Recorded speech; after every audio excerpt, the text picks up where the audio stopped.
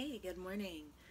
So I thought I would share some of my favorite stretches for the neck um, this morning.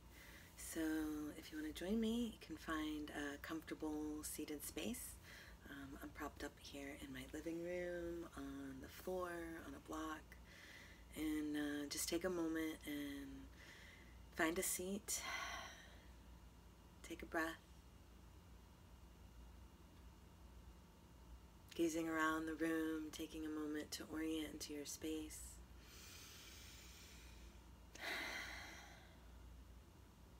Yeah. And we're going to start by turning the head side to side. So I do I do this in almost all of my classes. And so taking a moment to sit well, to breathe, and to mindfully go side to side. So I'm just slowly turning to one side and seeing how far I can gaze with my eyes, noticing what my shoulders are doing. Maybe one or two more times like this, side to side.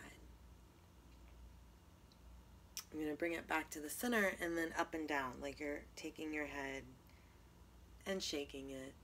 Yes this very slow or mindful movement going up and down with the chin,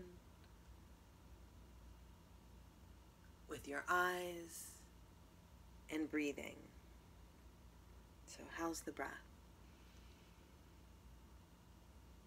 Noticing any sensations down the back, the right side, left side, Let's do one or two more there, up and down.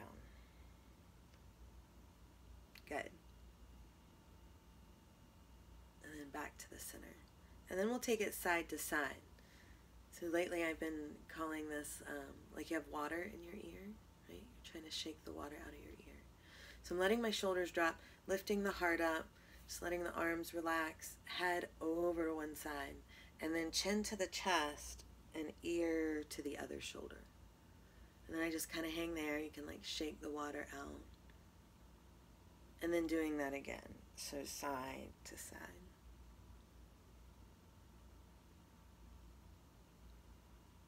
And breathe. You can pause on either side. So sometimes I hang out and I make little movements. Sometimes I pause at the center. And sometimes I add some external load. So taking one arm up and over, adding that weight of the arm to let to let everything go. So see if that feels useful. And taking your time in that transition from side to side.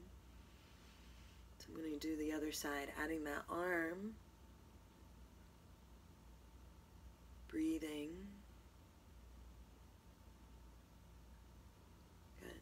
Releasing that arm, bringing it back down to the center.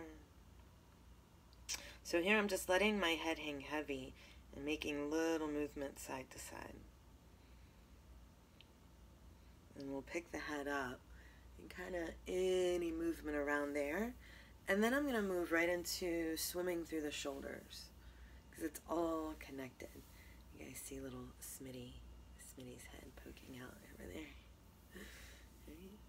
So, swimming, one at a time, both at the same time, forwards, backwards, any of that movement, speed wise, slow, fast, maintaining breath, right? And then still having that freedom to move around the head and the neck? And I'm going to do like this little cat and cow with the shoulders. I'm going to draw my shoulders back, kind of squeezing the shoulder blades, sticking the sternum out, and then rounding through the back, and maybe even taking the hands and the arms forward. So I'm drawing my elbows back. You can even open up the throat, gazing forward, and then we're going to round. So it is going to be like a little seated cat-cow, starting from the upper thoracic spine area, the neck. And then any wiggling and rolling through the shoulders, through the head. can shake it out, up and down. Take a nice deep breath. Find some length in the neck. And then again, going side to side, seeing what you notice. Good. To the center, up and down.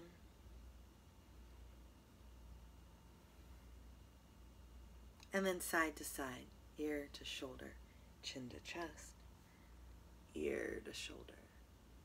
Breathe.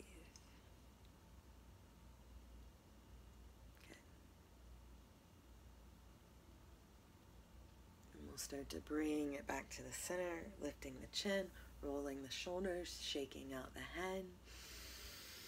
Take another nice deep breath here. Yeah. Thank you for joining me for our little pause and moving around the neck and a little bit of the shoulders. And maybe sprinkling some of that same movement in throughout the day. Um, so thank, thank you for joining me. Have a wonderful day.